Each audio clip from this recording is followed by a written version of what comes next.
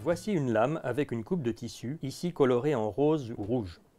Cette coupe de tissu a été obtenue à partir d'un fragment prélevé chez un patient, comme indiqué sur ce schéma.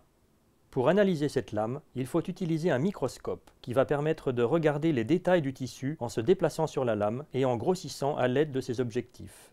Le médecin pathologiste regarde ici par les oculaires et va ensuite rédiger un compte-rendu avec par exemple un diagnostic de tumeur bénigne ou de cancer.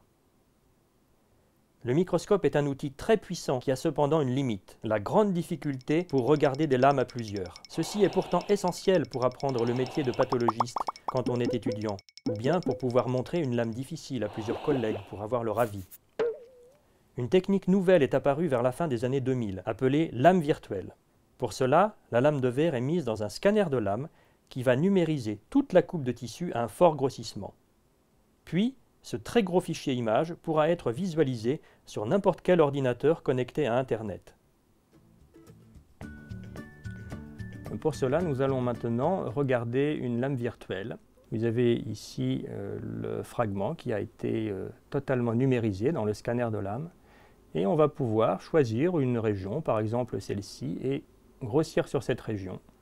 On peut se déplacer comme on veut. On peut dézoomer, c'est-à-dire revenir à un plus faible grossissement. On procède exactement comme avec un logiciel de cartographie géographique en ligne.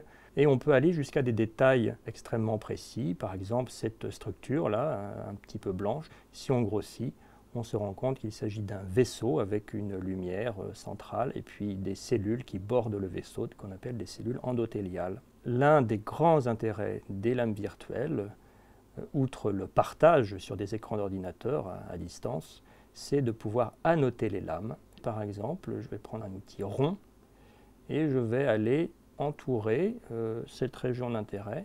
J'entoure ce vaisseau et je sauvegarde mon annotation.